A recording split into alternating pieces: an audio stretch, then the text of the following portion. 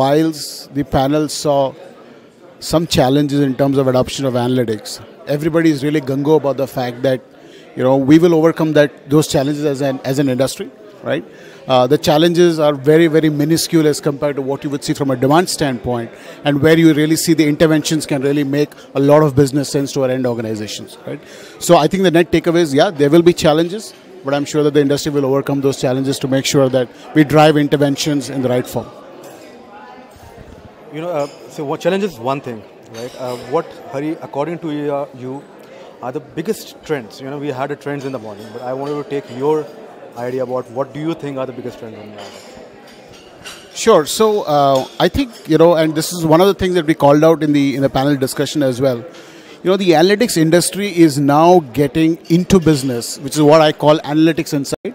And and my favorite analogy is Intel inside, right? If you don't look at a chip inside a computer, it's only a box, right?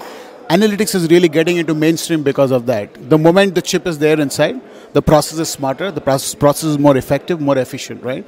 And I think more and more organizations are understanding that their processes will now be smarter the moment analytics is really part of their core component. Yeah?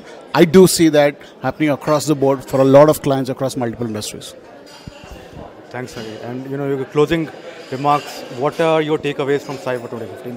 What has been your experience? To be honest, this has been fantastic. I just think that, and again, uh, I allude back to the panel discussion. One of the things that we need in analytics is really more of these forums that brings the industry together, right?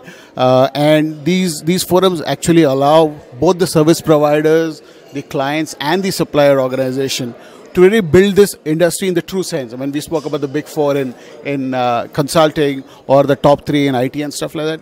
I think analytics requires something like this. The more you do, uh, you know, these kind of firms, the better it is for us to mature the industry much faster. And and great job uh, from your end, Bhaskar.